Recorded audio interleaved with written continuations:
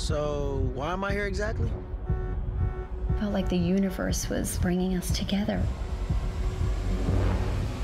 You want to grab people's attention? You have to tease.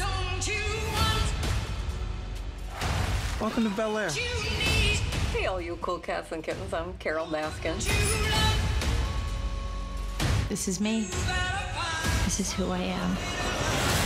I bet people will talk about this a hundred years from now. I can't do this alone. I want to protect my best friend.